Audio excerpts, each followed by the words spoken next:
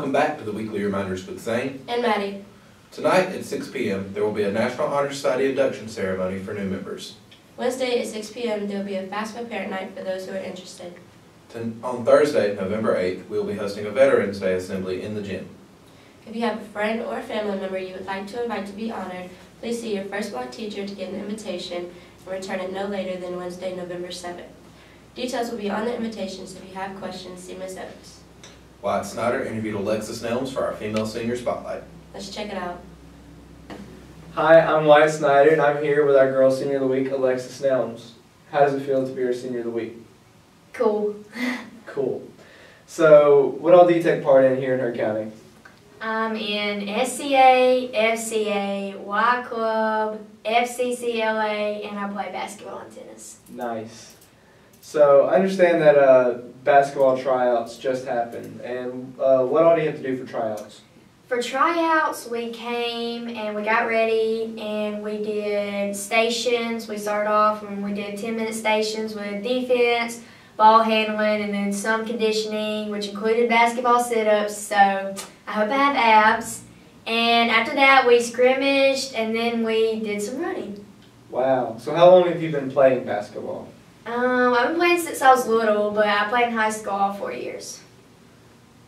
Impressive. So, uh, what was the last movie you watched two weeks ago? I would have to say How the Grinch Stole Christmas. Already? Yeah, it's never too late. It's too early, though. You're right. Back to you. Thanks, Wyatt. Now for our male senior spotlight, Tyson O'Neill with Lori. Hi, I'm Lori Estall, and I'm here with Tyson O'Neill, our Guy Senior of the Week. How does it feel to be the Guy Senior of the Week? Feels pretty good, I guess. So I know that you're an FFA, and I also heard that y'all went to Indianapolis for an FFA convention. How did that go?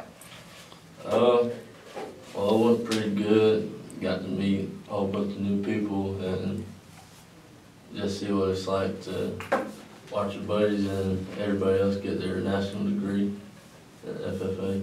That's cool. And what did the convention consist of? Well, you had a whole bunch of these conventions where some of them were colleges, uh, the other them were like stores and stuff, where I guess you can, I don't know. That's pretty neat. And is it true you started the FFA cowboy hat trend? It is. I start everything in County. All right, back to you.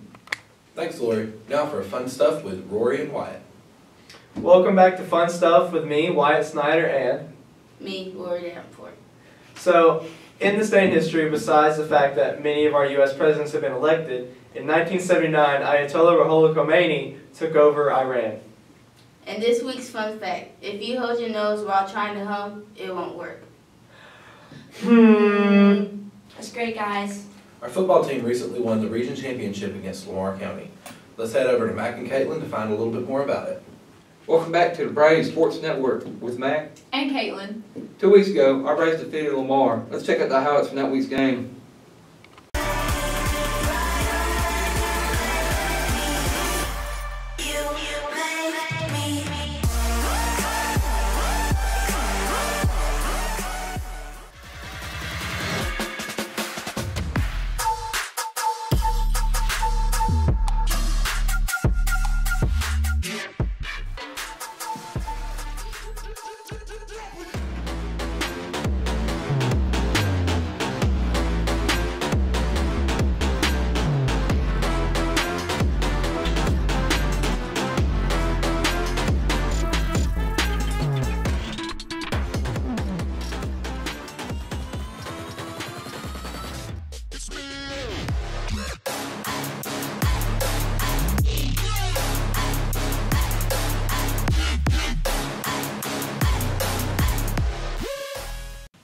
That's awesome. This Friday, our Braves will play in the first round of the state playoffs.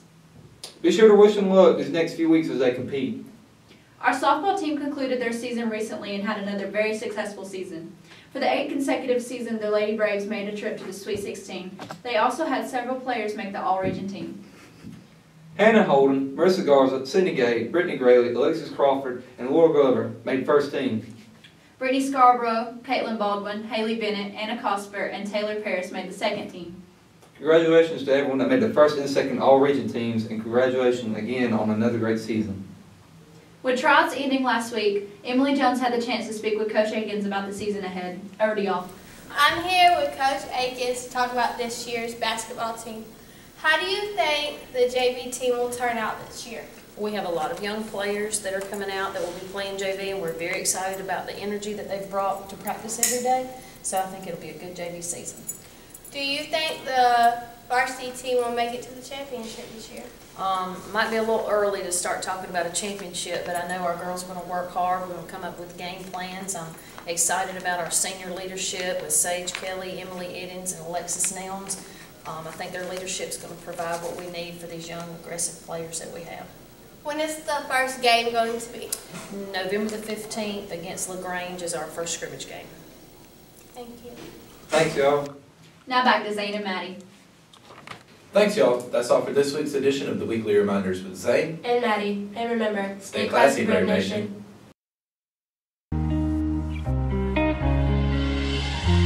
My face above the water.